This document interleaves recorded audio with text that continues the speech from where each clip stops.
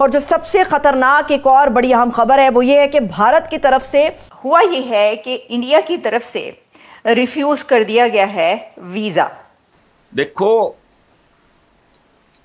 कशकोल जो है वो किस्मत है। समझौता कर लो। इंडिया ने पाकिस्तान के एयर ट्रैफ़िक कंट्रोलर्स ऑफिसर्स को वीज़ा देने से इनकार कर दिया है। कि इस वक्त हमारे लिए हाल क्या है और हमारे इर्द गिर्द दुनिया में हो क्या रहा है? जैसे पिछले दिनों में वज़ीर आज़म की तकरीर सुन रहा था बड़ा मौके मार मार के कि वी मस्ट डू समथिंग वगैरह वगैरह। क्या इसराइल के चक्कर में? वो तो करो भाई। क्या वजह हुई कि पाकिस्तान के एयर ट्रैफ़िक कंट्रोलर्स को भी बाहर रहने का कोई ज़रूरत नहीं आने की? तो वो कह सकते हैं उनकी पावर है वो कहेंगे। हमारे पास इतनी पावर नहीं है हम सिर्फ़ बीक मांगने वाले हैं बीक ही मांगते रहेंगे। काँप रहे हैं मुक्के चला रहे हैं। पाकिस्तान और चीन के दरमियान जो तनाव की सी कैफियत है जो एक कशीदगी है बढ़ती हुई वो अब खुल के सामने आ रही है। अब कोई मुल्क डिपॉजिट और कर्जों में तोसी के लिए तैयार नहीं। और मुझे बहुत ख़तरा ये महसूस हो रहा है कि ये कशीदगी जो है ये शायद आने वाले हफ्तों और दिनों में इसमें बहुत ज़्यादा इजाफा हो सकता है। ये टेंशन बहुत खुल के गुजशत अड़तालीस घंटे में हमारे सामने आई स्विस गवर्नमेंट ने जो है आ, वो ये पाबंदी लगा दी है कि कोई भी वहाँ पे फ़र्स्ट जनवरी 2025 से हिजाब या बुरका नहीं पहन सकता। तो अब ये भारत ने पाकिस्तान के एयर ट्रैफ़िक कंट्रोलर्स को वीज़ा देने से भी इनकार कर दिया यानी एयर ट्रैफ़िक कंट्रोलर्स को भी वीज़ा देने से इनकार कर दिया। हेलो फ्रेंड्स जय हिंद। हिंदुस्तान स्पेशल में आपका स्वागत है दोस्तों।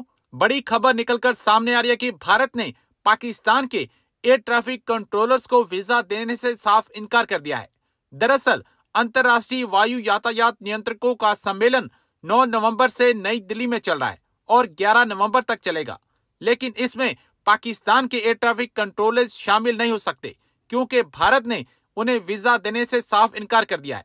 पाकिस्तान के हवाई यातायात नियंत्रक नई दिल्ली में आयोजित अंतर्राष्ट्रीय हवाई यातायात नियंत्रक सम्मेलन में भाग नहीं ले सकेंगे। अब भारत के इस बड़े कदम से पाकिस्तान का रोना धोना शुरू हो चुका है। कुछ सप्ताह पहले पाकिस्तान वायु यातायात नियंत्रकों के तीन सदस्यीय प्रतिनिधि मंडल ने सम्मेलन में भाग लेने के लिए वीज़ा के लिए आवेदन दिया था, लेकिन उनके वीज़ा आवेदन पर विचार नहीं किया गया। भारत ने चैंपियंस ट्रॉफी 2025 खेलने के लिए अपनी क्रिकेट टीम को पाकिस्तान भेजने से भी इनकार कर दिया है, जिससे पाकिस्तान काफ़ी निराश दिखाई दे रहा है। हुआ ये है कि इंडिया की तरफ़ से रिफ्यूज कर दिया गया है वीज़ा। इंडिया ने पाकिस्तान के एयर ट्रैफ़िक कंट्रोलर्स ऑफिसर्स को वीज़ा देने से इनकार कर दिया है। ये खबर इस वक्त सामने आ रही है और ये खबर इस वक्त मेरे सामने है जियो न्यूज़ पर। यानी ऐसा नहीं है कि कोई किसी ऐसी वेबसाइट ने खबर लगाई हो जिसको आ, कोई जानता ना नहीं बल्कि पाकिस्तान का जो बड़ा मीडिया है वो ये खबर दे रहा है कि भारत ने पाकिस्तानी एयर ट्रैफ़िक कंट्रोलर्स को वीज़ा देने से इनकार कर दिया है। आप कह रहे हैं, hi Alia, hi good evening good morning जहाँ जहाँ जो भी वक्त है सबके लिए. तो अब ये भारत ने पाकिस्तान के एयर ट्रैफ़िक कंट्रोलर्स को वीज़ा देने से भी इनकार कर दिया, यानी एयर ट्रैफ़िक कंट्रोलर्स को भी वीज़ा देने से इनकार कर दिया।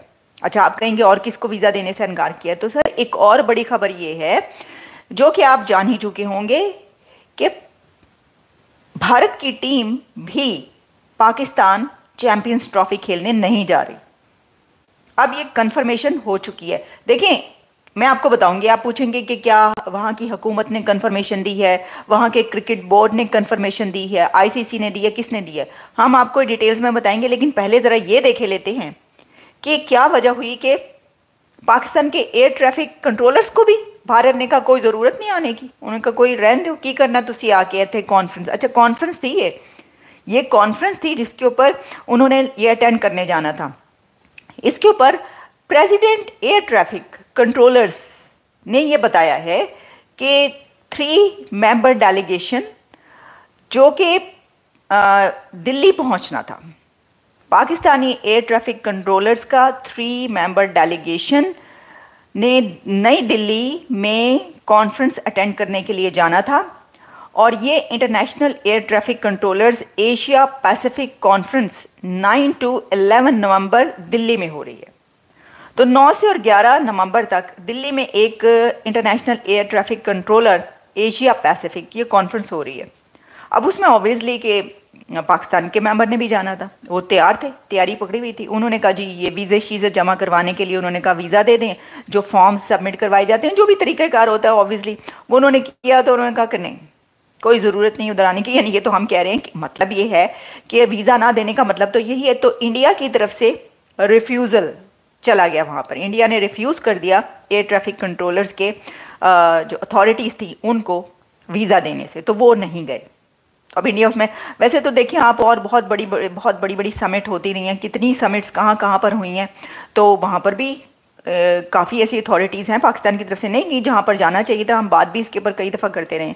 तो इसके अंदर नहीं गए तो क्या हो गया? अगर ये कहा जाए तो ऐसी कोई बड़ी बात तो नहीं है, लेकिन बात यह है कि अगर कोई एक कॉन्फ्रेंस हो रही थी तो उसके अंदर भारत ने कहा नो वीज़ा पाकिस्तानी वफ ने कॉन्फ्रेंस में शिरकत करने के लिए, नई दिल्ली जाने के लिए चंद हफ़्ते कबल वीज़े की दरख्वास्त दी थी। अच्छा ऐसा अभी देखिए, मुझे नहीं पता कि इंडिया की तरफ़ से इसके ऊपर क्या स्टैंड आया आएगा। इसका जवाब जो है वो हो सकता है दिया जाए या हो सकता है क्या दिया जाए भाई। कौन सा वीज़ा कौन सी वो? लेकिन अगर उनकी तरफ़ से कोई जवाब दिया गया तो वो पहले एक दो दफ़ा ऐसा हुआ कि कुछ ऐसा जब वीज़ास नहीं दिए गए तो वहाँ से ये बताया गया था कि ये टाइम आउट हो चुका था, तब आपने जो है दिया वीज़ा आपने दरख्वास्त दी वीज़ा लगाने के लिए। या ये कि कुछ और उसके अंदर हो सकता है कि कोई ऑफिशियल रीजंस हों, जो भी हों इंडिया की तरफ़ से बताया जाएगा, हम आपके सामने रखेंगे, लेकिन पाकिस्तान की तरफ़ से खबर यही है कि जी पाइन उतो इनकार हो गया। उन्होंने कहा, नहीं नो वीज़ा अच्छा अब वो नहीं गए। चलिए, ये तो खबर मैं आपको दे ही दी मैंने आप। अच्छा अब इसके अंदर एक और ख़बर है। और वो ये खबर है कि इंडिया की क्रिकेट टीम भी पाकिस्तान नहीं जा रही, ये खबरें काफ़ी दिन से चल रही हैं, जो कि हम आपको बताते रहते हैं, कोई नई खबर तो है नहीं, हमने पहले भी कई बार आप तक ये पहुंचाई खबर के सर, वो उन्होंने कह दिया कि नहीं मतलब मुल्ला कैसी राय कि नहीं जाएँगे ये, क्रिकेट खेलने के लिए नहीं जाएँगे। लेकिन अब ऐसा हुआ है कि क्रिकेट की एक वेबसाइट है, जिसने ये डिटेल में, इंडियन क्रिकेट की वेबसाइट में ये डिटेल में खबर पब्लिश हो गई है। और इंडियन मीडिया पे इस वक्त ये धूम मची हुई है कि इंडिया की जो क्रिकेट टीम है, वो पाकिस्तान चैंपियंस ट्रॉफी खेलने नहीं जा रही। और ये कंफर्म हो गया। अच्छा अब इसके अंदर की भी डिटेल्स हम आपके सामने रख देते हैं। देखिए, इसमें एक बात तो ये है कि अभी एक बहुत बड़ा धमाका जो हुआ है कोयटा में, उसकी हम डिटेल्स फिर अगले प्रोग्राम में किसी में बताएँगे। आपको वैसे तो बता देती हूँ थोड़ी सी कि देखिए, उसमें अब जो तादाद हो चुकी है ना लोगों के मरने की, वो सत्ताईस पहुँच चुकी है। Twenty seven people tied in that blast और ये बलूचिस्तान लिबरेशन आर्मी जो ग्रुप है, उसकी तरफ़ से इसकी रिस्पॉन्सिबिलिटी क्लेम की गई है। और उसके अंदर काफ़ी बड़ी तादाद सोल्जर्स की भी है। कहा जा रहा है कि पाकिस्तानी फ़ौजी, जो कि वहाँ पर एक कोर्स अटेंड करने के बाद वहाँ पर पहुँचे थे, एक यूनिट उनमें भी, वो भी बड़ी तादाद है। तो हो सकता है उन्हीं को अटैक किया उन्होंने, उन्हीं को टारगेट किया हो, लेकिन 27 पीपल उसके अंदर अभी तक मारे जा चुके हैं।